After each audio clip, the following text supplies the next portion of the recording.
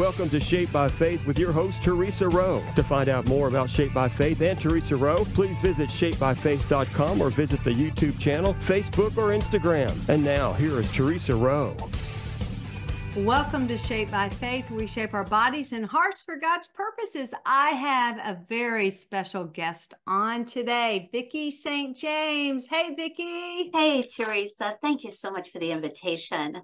Absolutely. All right, let me tell a little bit about you. Vicki has done a lot. Okay. So, Vicki is an on air personality marketing executive. She hosts a daily radio program on Corn Country 106.5 FM from 2 to 6 Mondays through Fridays. So, mm-hmm. she's on five days a week. In addition to her radio program, she writes and she produces and voices original radio commercials for a diverse client base. And she mm-hmm. also works closely with the nonprofit Bakery Tripie, whose mission is to teach life skills through meaningful work to a diverse group of girls.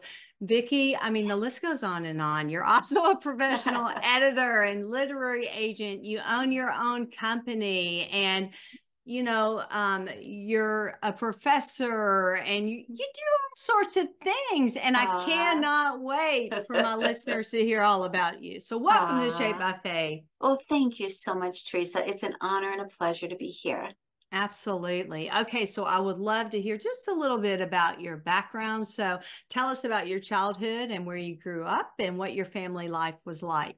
Absolutely. So I was actually born in La Crosse, Wisconsin. However, I only lived there six weeks because my papa was working for the Milwaukee Road, uh, uh, the railroad, and um, they were cutting back, and a lot of the people were uh, losing their jobs. So he did some research, and he came to find out that John Deere in Waterloo, Iowa, oh. was was actually hiring, and that agricultural industry was booming. Yes. And so he sent his application in, got hired immediately we moved down to Waterloo, Iowa, and that's where I lived most of my adult life until age 17 when I moved to Minneapolis, lived there for a decade, and then came back to Iowa, and I've been here ever since.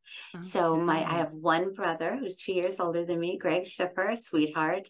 We're very close, just like this. We're both strong Christians, um, but we weren't always. You know, mm-hmm. we we both came to the Lord uh, on our own terms in adolescence, and um, have never looked back. All and so yes, and we went to um religion we had religious education so it was catholic um, but i loved you know learning about jesus. I loved the fact that my school promoted jesus in a close relationship with him and that was beautiful all the way from first grade through 12th grade. Oh wow. That is fantastic. Yeah, i loved it. so i understand you had and you still have a love for reading, but you know, especially in your childhood. Tell us about yes. that. Oh my gosh tremendous love for reading. I started writing my own books at age six, and I wow. still have I still have most of them. Um, and they were actually pretty philosophical. I would just let my imagination run. So I remember one. I was seven, and I have this book. It's called Our World, and I was in my room. I spent a lot of time in my room. Um, I just honestly, I was a victim of sexual abuse as a child, mm. um, a relative, and it was horrific. And so, but my my daddy defended me. He took care of the situation, went to this person, and it never happened again. But that's a very difficult thing mm. for a child mm. to go through. So for myself, I would just be in my room a lot, either mm-hmm. reading, writing, or painting or coloring. So that was just my solace to be alone. Yeah. And so yeah. the one book, um, My World, I was looking out the window and I saw, and I'm all of seven years old, I saw a little boy and a little girl walking down the street holding hands. And I was like, hmm, this is an interesting relationship. I wonder if they're cousins, brother and sister, friends, you know, what is it that makes that relationship so special? Mm-hmm. And then I I mm-hmm. talked about, you know, God and how God can bring people together. And um, because of their shared love for Jesus, then they can grow in their friendships. And that's wow. where I went with that. I know that's where I went with that book. And it's called Our World. And I love it. I've got many, many books in boxes in my basement. I did this all the way through until I graduated from high school. I was writing these wow. books. And then um, I just, you know, the you asked me about reading. Mhm. Okay, so when I was 13, my love of reading started at Cross Lake, Minnesota. We were on a family vacation and I realized they had a library there. I'm like, oh, this is interesting. Instead of running out and playing in the sand, I just spent most of my time in that library with these books. And I came across the most beautiful book, Wuthering Heights by Emily Mm. Bronte. Mhm. And it really, really spoke to me. I love the Moors. I love the mystery. I love the fact that Heathcliff was a very conflicted protagonist, if you will. And I Mhm. think I've ever since then I've been looking for my Heathcliff. oh my goodness. Wow, God Yeah. has put a lot of creativity in you. You Yeah. already know that, Vicki. Um, and you've used it and you're continuing to use the creativity play. Have you ever thought about getting those books published that you wrote as a child? Maybe, but I have also written a book on Abe Lincoln as an adult, and I've written a book on Oh, JF, yeah. JFK as an That's adult. awesome. And so I think I would start with them. Yeah. But here's the thing, Theresa. I have this, it's sort of like private. It's hard Mm, for me to think about the mhm. whole world Yeah, reading my yeah. thoughts. Although they were both, the Lincoln and the Kennedy were both um, master's thesis. So I had, um, you know, I was told, oh, should get these published. These are amazing Yeah. by the professors on, you know, the committee. But then I still have this, oh, I'm not sure. But someday, someday I mhm. will Yeah, and those yeah. you know and the ones for for youth yes someday Did you ever think as a child you'd be doing what you're doing now? No and you know how that all transpired. It was interesting. Like you i was a fitness instructor. That was my uh, only adult job that i well i did do portraits um back in the 70s i started doing portraits for hire for $50 a piece i'll tell you what if i had that money right now i'd be a millionaire because think about $50 Wow. then versus now right I know. Um, and I always had one going. People would hear about me. I'd always have Oh. one going. So that was my other job. And then I worked at an artist supply shop as well. But um, yeah, to answer your question. So I started uh, teaching fitness classes because, well, um, I wanted to get back in shape after the first baby. And Mhm. so I started teaching. Well, I actually started working in the nursery at the YMCA. And then one of the women who was teaching came up to me and said, Hey, you know, we need an instructor. Would you mind doing? We'll teach you, we'll train you, we'll t- send you to Des Moines and get certified. Would you just do this for us? You'd have to leave the nursery. Would you come to us? I'm like, Sure, I could do that. so they they uh, they did. They certified me, and I loved. it. I did that for a decade. One morning, my favorite class to teach. Well, my favorite class was actually prenatal aerobics. Love that, and I still get Mm. together with the mothers um, whose children are now having their own babies, which is Yes. interesting. But my other favorite class was 6 a.m. aerobics because, well, you know what? You got to have the dedicated people at 6 a.m., right? That's right. So the gentleman comes up to me who is now 92. And at the time he was in his 60s. And he's like, Vicki, you need to be um, in broadcasting. So Oh, what do you want? He's like, what do you want? Do you want TV? Do you want radio? I was like, I'm a mother, single mother of then four children, now five children.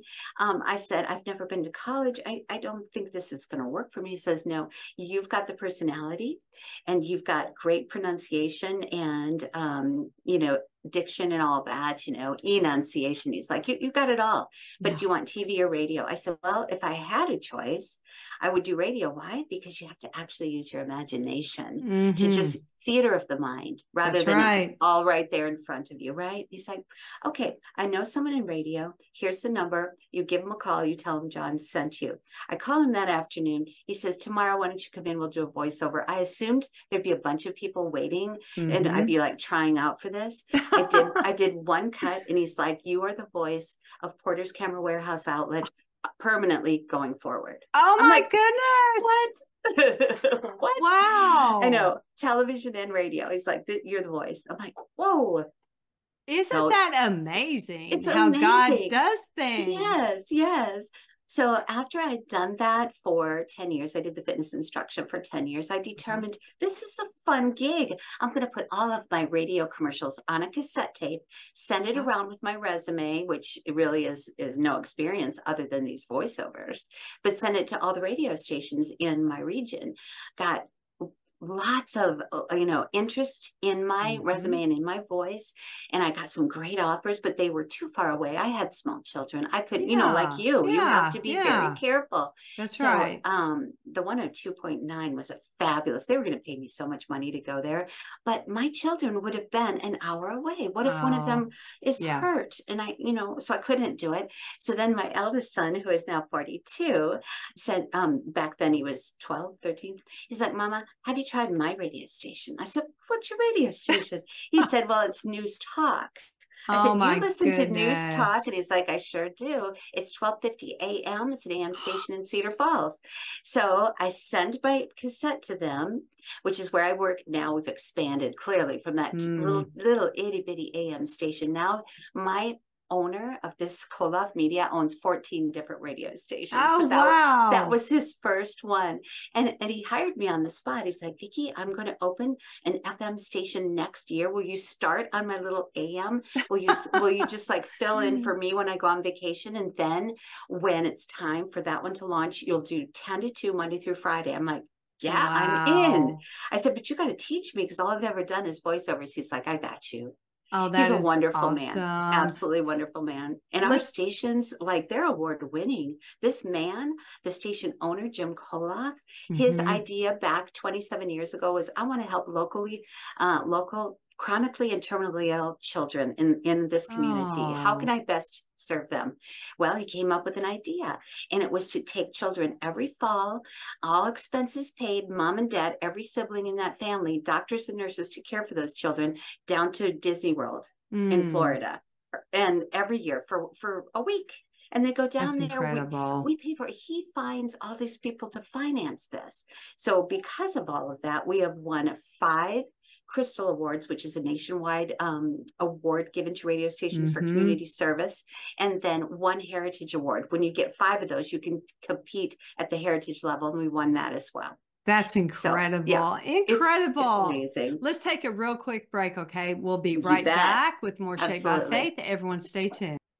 Welcome back to Shaped by Faith. We shape our bodies and hearts for God's purposes. Vicki St. James is my guest. She is an on-air personality. She does it all. She does. Ah, Thank you, sweetheart. you really do. You really do. You work Thank at you. an award winning radio station. It's incredible what you're doing there and what everyone's doing there. Um, so, where are you exactly, Vicki? Like, if someone wanted to listen to your show, tell us Oh, about yeah, that. I would yeah. love that. Yeah. So we stream around the world at iowacorncountry.com. okay. You can download the app from the App Store. Any app store has us 106.5 Corn Country. On the Mhm. FM dial, it's 106.5 FM. All right. Okay. So, everyone heard that. We need to tune in. There Now, you I- go. I, I know you raised five kids and Mhm, I know they're all grown. So, Yep. and you raised them as a single mom. Yep. So, and I believe me, I know, but I, I only did that for five years. I know how challenging that is. Yeah. So, tell us about your kids. tell us I'd about, yeah, Mm. whatever you want to say. All I ever wanted to do as a young person was have children. You know, Mhm. that was my great goal. I didn't want to do anything else but raise children. So um, to say I have five beautiful children is like the greatest joy of my life. And my children range in age from 25 to 42. Wow. Three, yeah, three sons and two daughters. And then I have three grandchildren a Mm. six year old grandson, an 11 year old granddaughter, and a 16 year old granddaughter. Well, I can So, tell yes. you radiate when you're talking about Uh-huh. that. There you go. Oh There's nothing gosh. like children. There's nothing like grandchildren, is right. there? I mean, Exactly. just amazing. yeah. So, how did you instill your faith into your children, Mhm. you know, when you were raising them? Absolutely. So um yeah, and my my eldest four have a wonderful father and stepmother. Let's just put it that way. So Okay. it was while I was raising Yeah. mine alone, yes, Yes. but on week weekends, every other weekend, and one night a week, they were with them, and they had a tremendous, Im, you know, impact on them as well. Mhm. Wonderful people, love them, love them both. So um, we had that. And then, of course, my mama and daddy, um, my daddy has since passed, but um, Mm. they lived in Minneapolis and they too would would help from time to time. Every spring break, they would take my children for the week. Oh, that's And- nice. Yeah, my children have the best memories of that. You know, just little things like going to the grocery store together, and my mama would say, Grandma would say, "Okay, you can pick out your own cereal." They're like, "What?" Our own, very own. So things like that. They still remember all of that. Right. Simple, the simple joys of life of being with Grandma and Grandpa. And then, like my Mhm. 42 year old son has said, "Boy, Grandpa had to be in his 60s, and he would pick up a tennis racket and say, "Okay, kids, let's go play tennis." You know, right?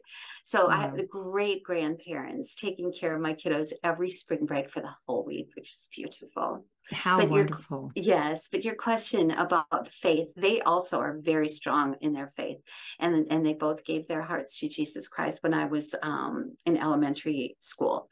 So they they love Jesus, and so that was passed on to be their passion. Um, I just every night before bed, all of the technology would go off at eight o'clock. And then I would read to them, not just Christian books, but any book that they wanted to read. I'd go from room to room reading. And this would go on for two hours to get all the way through Oh them my all. Goodness. yeah. And I loved it. I loved it so much. And then, of course, we would always pray. We would Mm. pray at the end of, you know, each night's readings. So they, it was just part of their life a very Mhm. important part of their life.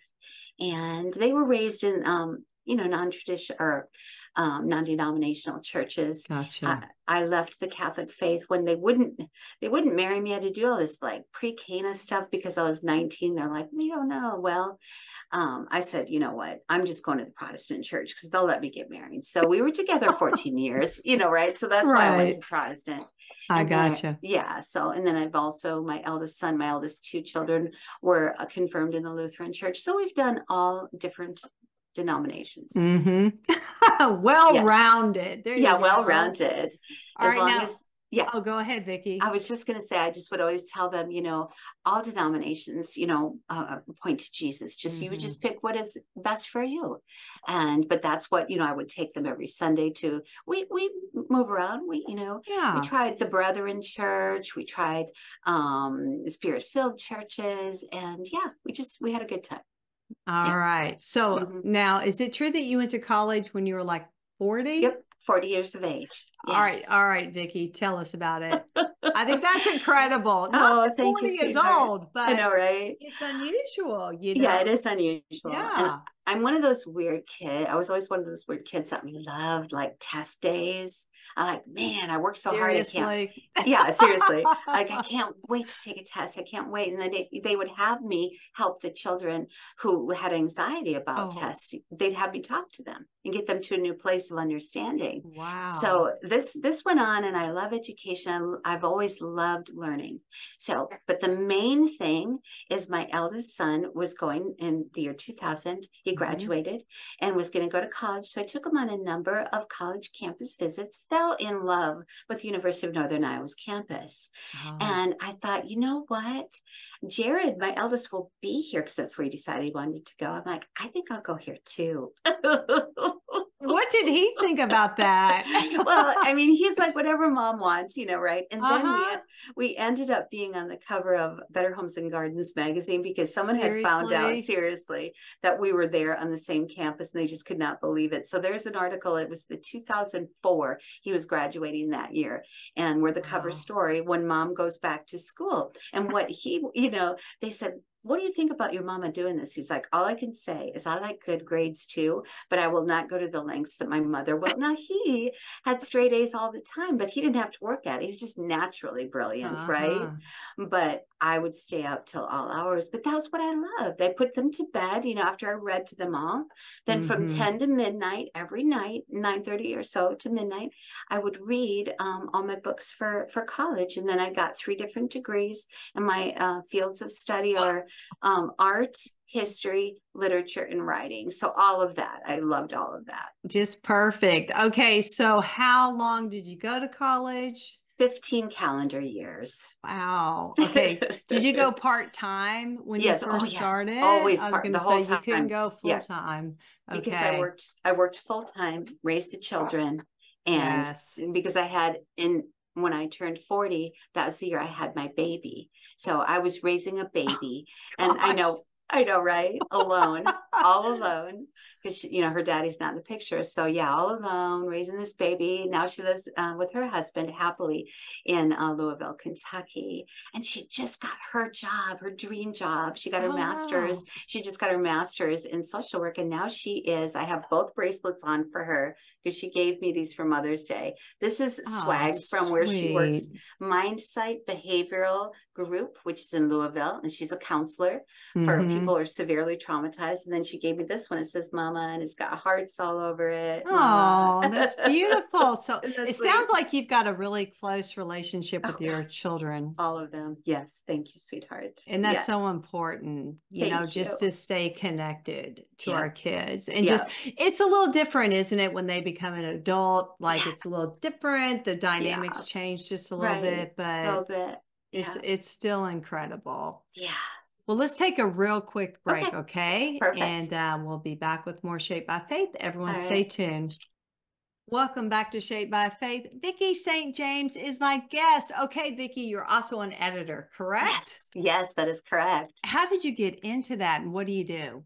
Okay. And the name of that, my website is stjamesediting.com. So S T J A M E S editing, E D I T I N G dot com. So, yep. Now, the thing about that is, I get so many spam messages. Please don't reach out to me on that. I'll tell you Mm. how to reach out to me, but you can see everything I do. So, reach out to me at VS485 539 at gmail.com. I love you your voice. I'm Oh, just thank you, listening to your voice going, you've got a great voice. Oh, you sweetheart. Thank you so much. So I love editing. How I got into it, my eldest son, Dr. Jared Smith, who, by the way, is the superintendent of schools for Waterloo. Um, wow, that's a big job, you know, right? is a big job. 10,000, you know, 17,000, whatever it is, students. My and like, he just loves it. He goes to each school every day, has lunch with the kids. He'll sit down with them and say, okay, tell me what keeps you up at night? Can I help you?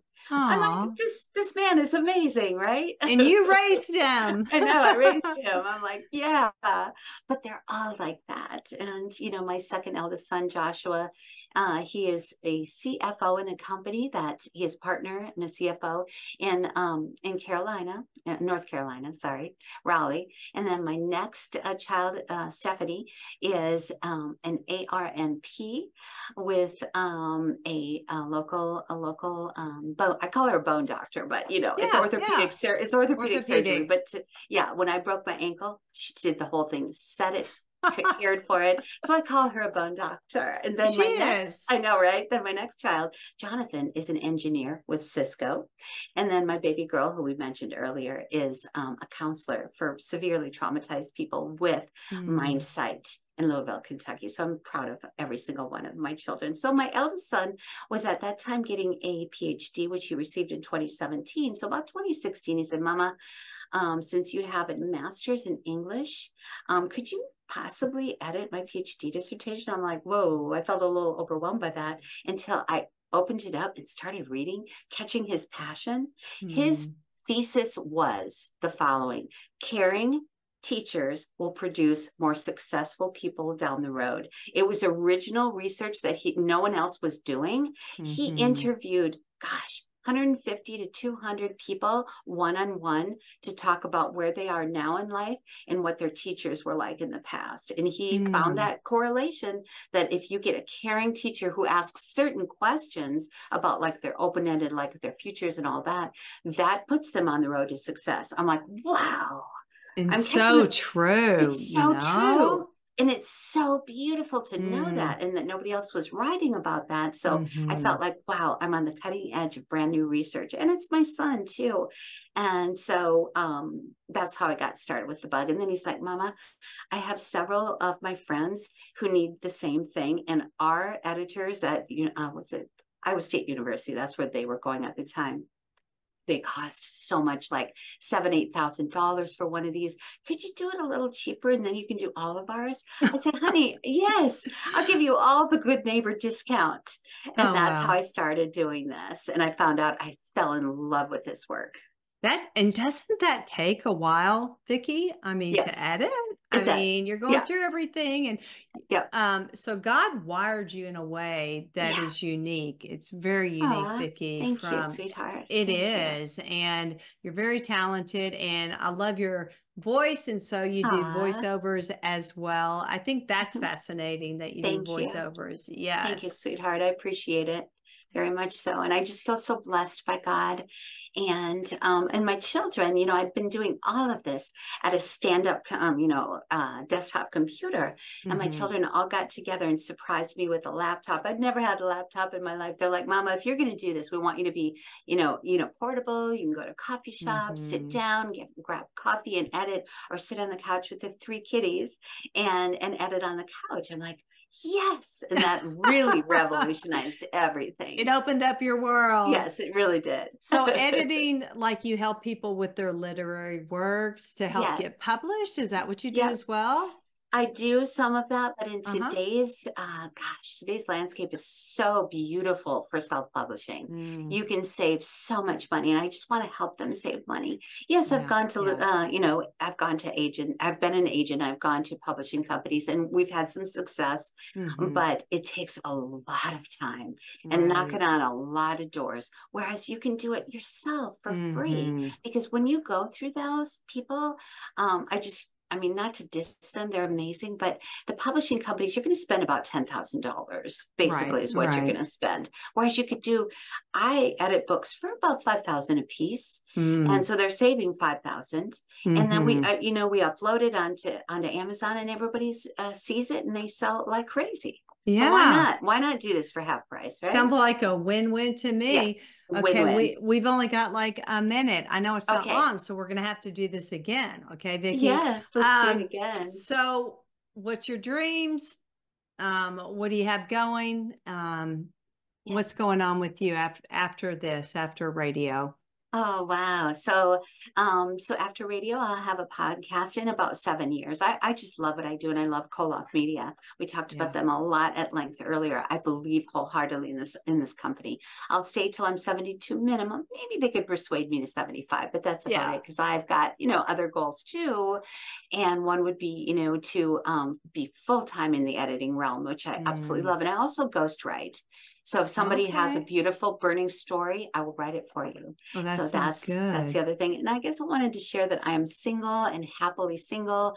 I've been married three and a half times. People are like what's with the half? Well i gave back i gave the diamond back because well, i was i wasn't happy. So yeah. so my thing is i intend to remain single for the rest of my life. I do date i have great friends but i love my independence. I I want to go love home that. at night and just do my own thing you know? I love that about you, Vicki. Thank Vicki. I'm gonna have you come back on, okay? Thank you so much for being such a Oh. wonderful guest. my pleasure thank you so much theresa what a joy it's been for me Absolutely. And thank you for listening. I'm Theresa Rowe. Everyone have a blessed day. Bye. Thank you for listening to Shaped by Faith with Theresa Rowe. Remember to visit shapedbyfaith.com to find out more about workouts, the TV show, podcasts, blogs, Shaped by Faith products, and much more.